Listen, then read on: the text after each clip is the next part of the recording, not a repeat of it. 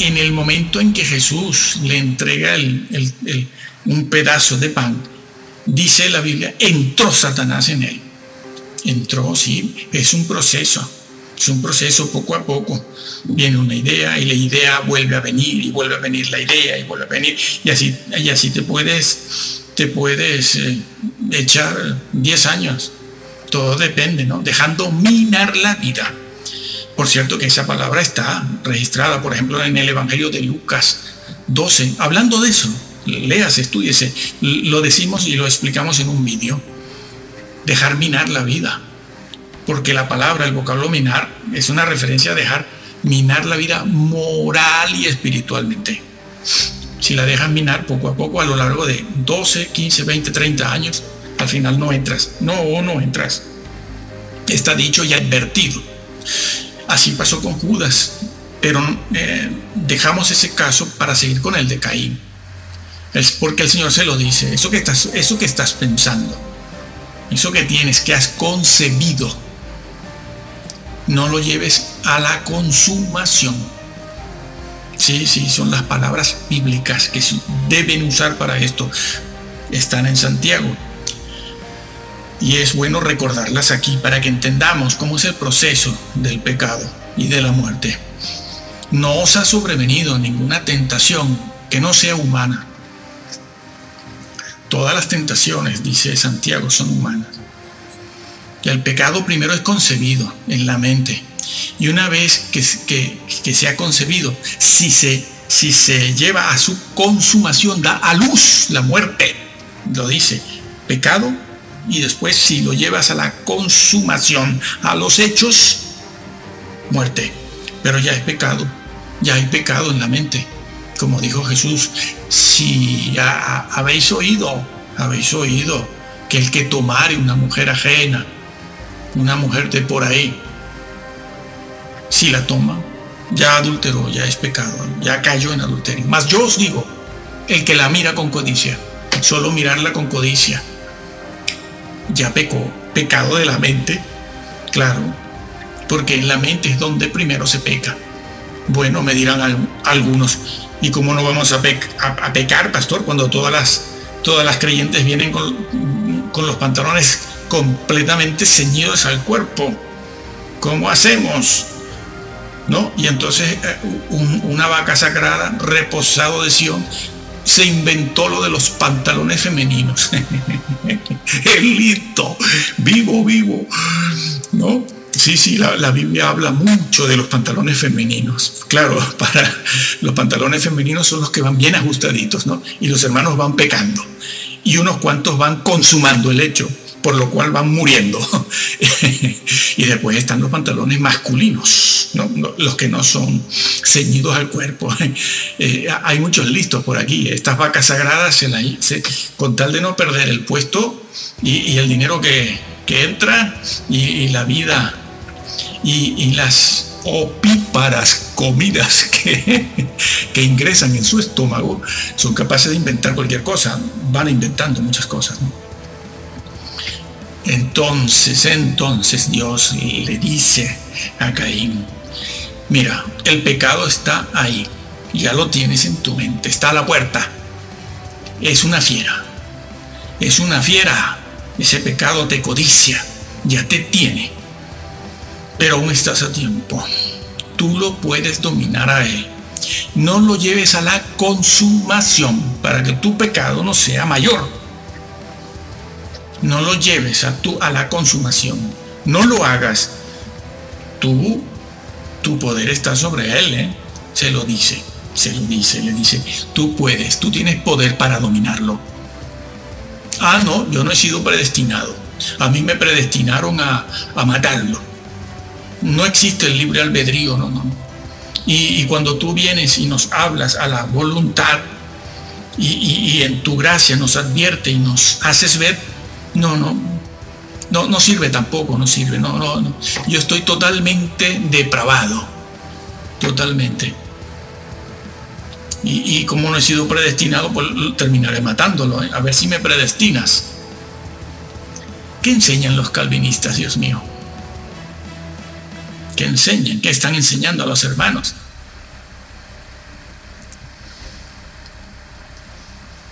¿Dónde está? ¿Dónde está? ¿Qué están haciendo? ¿En qué pasa en el tiempo? Este pobre hombre, Caín, claro que no se hubiera podido ni arrepentir, ni convertir, ni nada, si, si el calvinismo fuese tal cual lo han planteado o lo están planteando. Pero Dios hace responsable a Caín y le dice a Caín que él tiene la fuerza, el poder necesario para vencer su pecado y no llevarlo a la consumación. Sí, tiene el poder, tiene el poder. Dios se le acercó en su gracia y le habló, le habló directo a su mente, a su raciocinio, y le dijo que fuera fuerte, que tuviera fortaleza, le habló a su voluntad. Es lo que hace con todos nosotros. ya sabemos que nadie se puede convertir solo, nadie. No podemos entrar al cielo bajo nuestra propia decisión. Si Dios no nos llama y nos habla y nos ayuda en la conversión, no podemos. Todos dependemos de la gracia de Dios para la salvación. Todos, nadie, no conozco a nadie que diga lo contrario. No, no, Arminio no enseñaba lo contrario. No han leído Arminio. Es más, muy pocos, muy pocos pastores saben todo lo que dijo Arminio. No se lo han leído. No han, no han leído ni saben. Pocos saben todo lo que dijo Calvino, todo lo que dijo Zwinglio, Juan Knox, Agustín de Hipona. No se han leído a Platón ni a, Aristóteles. No lo saben. No lo saben. Van repitiendo lo que van, lo que otros han, han escrito y se, y han equivocado y siguen equivocándose. Hace falta la gracia. Nadie enseña lo contrario. Dios aviva nuestra voluntad como ha hecho con Caín. Pero al final, la decisión fue de Caín.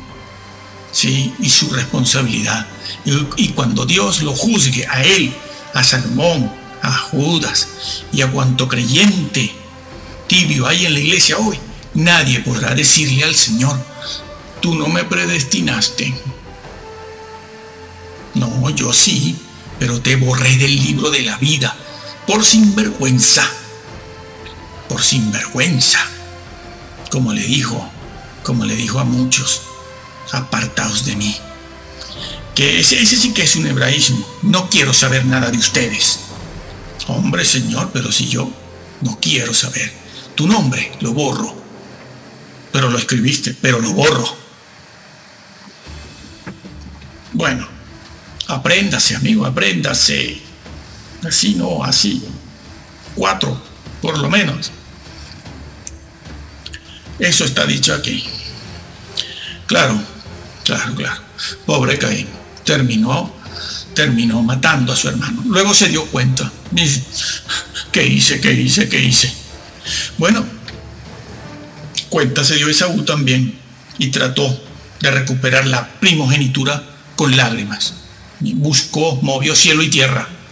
Como dice Romanos 9, no hubo misericordia, no. Sí, claro, claro, claro, es muy fácil ahora, ¿no? Oye, Noé, que está lloviendo aquí fuera estábamos comiendo mientras tú estabas, llevabas ya siete días encerrado ahí en esa arca y no llovía, ¿quién te iba a creer? Y nosotros, mira, la familia entera, somos de buena familia, ¿no? Te conocemos, tú nos has hablado del Señor, pero abre porque esto es mucha el agua que está cayendo. Y dice, dice el Señor que dice que cuando empezó a llover, perdón, ellos entendieron, entendieron, entendieron, claro, eran de buena familia. Y no hubo misericordia. Los listos quieren entrar después, ¿no?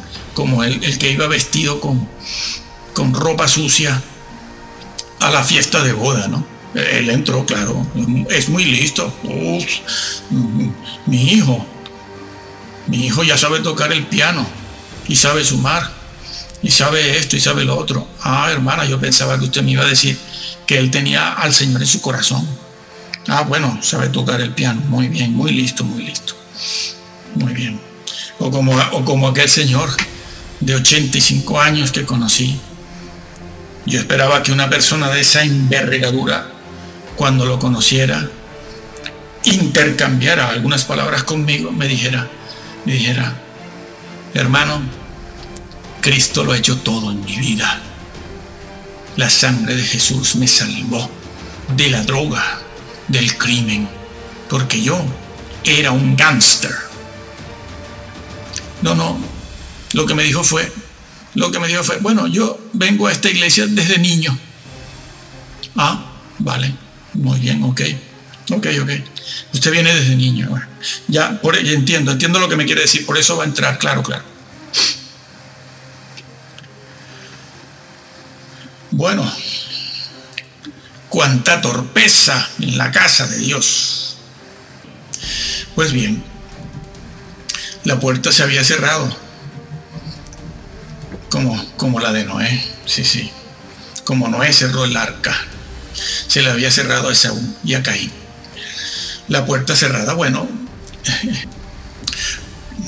en aquel momento que la rechazó, a lo mejor, a lo mejor es que era una persona muy madura, joven, inexperto, bueno, tú sabes, ya llegará el día en que, que tendrá la edad para convertirse, ¿no? Para acercarse al Señor y, entender las cosas, sí, sí, sí, sí, como nuestros hijos, ¿no? Como nuestros hijos. ¿Cuántos, cuántos conozco yo, ¿no? De los padres que dejaron a sus hijos, sí, sí diciendo, bueno, él, él, decidirá cuando sea mayor si sigue al Señor o no. Y allí los dejaron, ¿no? Allí los dejaron. Muchos de ellos mm, eran grandes promesas. Sí, sí, uh, no, mi hijo, eso, eso va a llegar a la luna. No, eso es un matemático astrofísico. Sí, sí, están esperando por él en la NASA. Y luego, con los años, con los años y con los años hemos visto que muchos de ellos solo quedan para llevar un vehículo, profesión que es muy honorable como cualquier otra, solo quedan para estar atendiendo en una tienda o sobre todo hoy en día como está de moda, pues eh, para estar detrás de un ordenador, de una computadora, un PC, tecleando, tecleando, esto, lo otro, vaya y para acá. Sí, las grandes promesas. Pero abandonaron a sus hijos. ¿No? Incluso conocemos muchachos que, se ausentaban a veces del templo porque eran tan inteligentes, tan sabios, que los otros jóvenes del, del templo que se congregaban allí, que se congregaban allí, pues eran inmaduros. Eran inmaduros, torpes. De todo hemos visto. Y al final, ¿qué? Al final, ¿qué? Tumbo por aquí, tumbo por allá. Caso por aquí y otro caso que se destapa por allá. Este por aquí y el otro por allá. Yo digo, madre mía. Y los padres, ni se dan cuenta. no son responsables de nada. no son responsables de nada. ¿No? Y ellos dicen, bueno, la culpa es de mi hijo. No, eso no es lo que enseña la palabra de Dios. Si somos fieles, el Señor dice, el Señor dice que nuestros hijos crecerán como palmeras, que Él los alimentará, que Él los prosperará. Pero lo dice claro toda la Biblia, si somos fieles y estorbamos a nuestros hijos, látigo, látigo, sí, los estorbamos, no los dejamos sueltos, dándoles consejitos. Mira, esto no lo hagas porque eso es malo Sí. Mira, esto otro no lo hagas. Eso es malo también. Vean, ya, ya te lo estoy advirtiendo, ¿eh? Ya verás tú. Y son hombres ya de 25, 30, 40, 45 años. Y no regresaron nunca.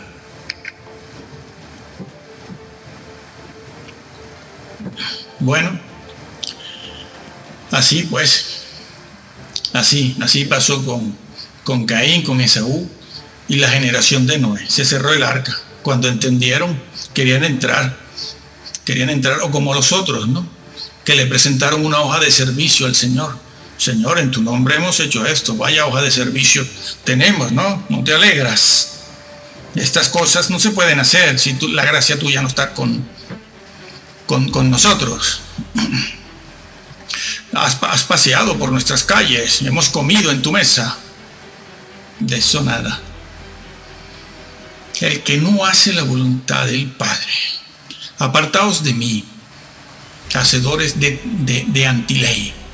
Hacedores de antiley, sí, eso es lo que está escrito en el griego. Búsquese antiley. O violadores de la Torah, si se quiere hacer una paráfrasis. A, a, a que no lo averiguan. Averígualo. Presionó Dios y predestinó Dios a Esaú para que perdiera la primogenitura que era de él, que era de él. Dirán que Dios obró así para que Esaú vendiera su derecho a la bendición. Entonces, ¿qué culpa tiene? Esaú, con su clase de vida que llevaba, se endureció, se envileció. Sí, sí, lo dice, lo dice la Biblia. Lo dice aquí en Hebreos. ¿Cómo lo sabe? ¿Cómo lo sabe? Leamos, leamos. ¿Qué dice? Dice que era un fornicario y un profano. Claro, claro, la vida de Esaú llegó a ser, llegó a ser impía. Por eso es que Dios lo aborreció, ¿lo entendemos ahora? No es que no lo haya predestinado, es que Dios lo aborreció y lo dijo, yo aborrezco a Esaú. Dios que no vive en el tiempo, para Él no hay pasado, presente y futuro, Él vive en la eternidad. Todas las cosas están en un eterno presente delante de Él. Y en ese eterno presente Él lo dijo, le dijo, yo, aborre, yo aborrezco a Esaú, pero porque Él ya sabía que era un, se convertiría en una persona fornicaria. Entiéndase bien, fornicario espiritual. En ninguna parte del libro de Hebreos se habla de adulterio. ¿Cómo les encanta decir que los que cayeron allí en, los que han caído de la gracia, allí en Hebreos 6, es que fornicaron. Unos hablan de, algunas vacas sagradas dicen que eran visitantes y otros dicen que, que, había fornicación. Fornicación, y, no, y no, no, no se puede restituir eso, ¿no? Lo cual es, según como se vea, cierto, ¿eh? Cuidado con los que caen en adulterio, que, que no se levantan más nunca, ¿eh? Cuidado, cuidado, que tengo casos. Bueno, eh, era un fornicario espiritual, profanaba las cosas sagradas, entre ellas su propia primogenitura. No es que el Señor lo haya predestinado a que fuese así para que vendiera obligado la primogenitura. No, no. Él, de su propio, de su, de su propia, de su propia iniciativa, lo hizo. Pensaría que ah, es muy joven, soy muy joven, inexperto, no pasa nada.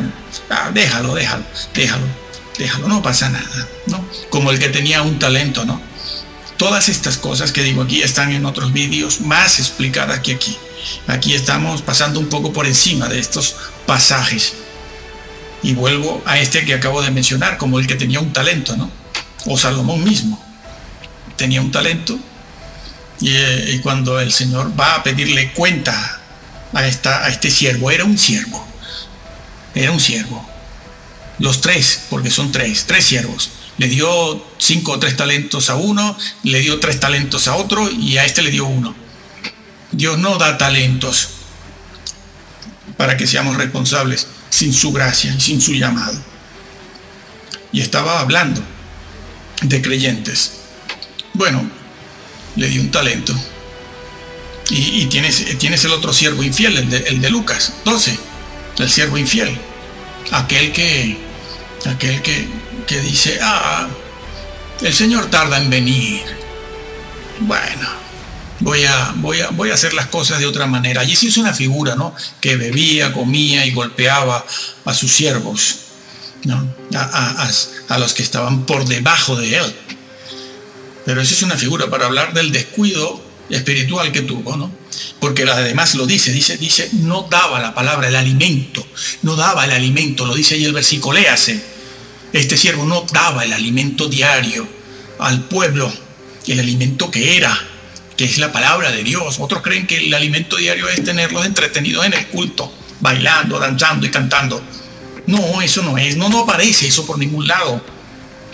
Pero bueno, a la gente le gusta eso, ¿no?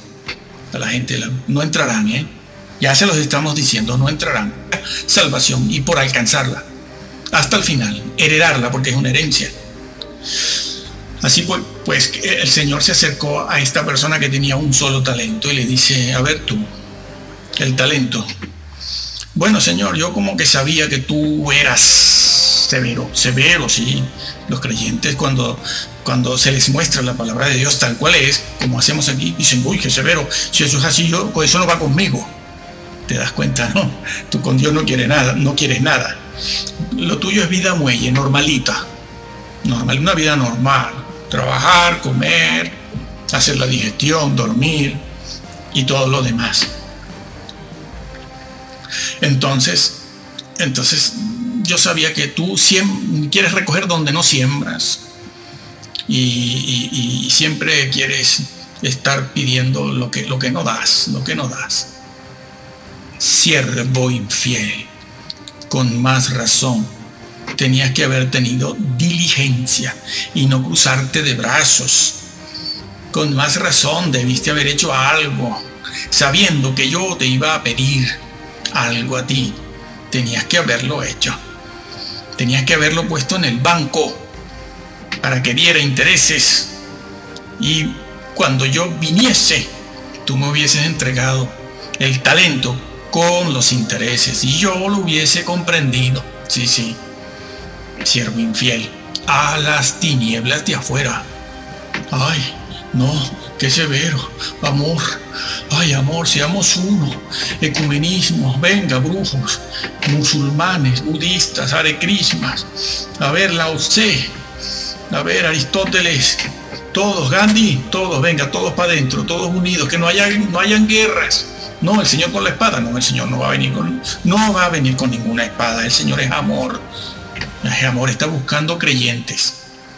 Nada de esto que acabo de decir es bíblico ni es verdad. Queremos terminar diciendo que Hebreos 4, 1 y 2 dice, temamos, temamos, también ahí se dice, sí, sí, temamos, y dice temamos, no sea que permaneciendo la promesa de entrar de entrar dónde, en la casa, no en el templo, no, de entrar a ver dónde, ah, eso es, ah, eso es los judíos que iban a entrar a dónde, en el arca, bueno, pero en el arca no caben todos, eh, allí en el tabernáculo, no, entrar en, Dios mío, entrar en la vida eterna, Dios. Temamos, no sea que permaneciendo la promesa, es que la promesa es la vida eterna, no los premios. Entrar permaneciendo la promesa de entrar, algunos parezcan, algunos parece, parezca no lograrlo, es decir, no alcanzarlo. Sabiendo Pablo lo que dijo en los capítulos 6, 10, 11 y 2, qué bueno es, diciendo aquí parezca no alcanzarlo, cuando allá dijo que el que no lo alcance no entra que el que no sea fiel no entra. Leemos Colosenses 1, 22, 23. Lo leemos en una versión que no es Reina Valera, aunque Reina Valera es nuestra versión preferida. Leemos Colosenses 1, 22, 23, que dice, pero ahora Él, Jesús, Dios el Padre, los reconcilió consigo mediante la muerte de Cristo en su cuerpo físico. Como resultado, los ha trasladado a su propia presencia y ahora ustedes son santos, libres de culpa y pueden presentarse de Él, delante de Él, sin ninguna falta. Una iglesia sin mancha y sin arruga pero deben seguir creyendo esa verdad y mantenerse firmes en ella. No se alejen de la seguridad que recibieron cuando oyeron la buena noticia. Esa buena noticia ha sido predicada por todo el mundo y yo, Pablo, fui designado servidor de Dios para proclamarla. La exégesis del griego sería muy bueno hacerla en estos dos versículos. Que el Señor los bendiga.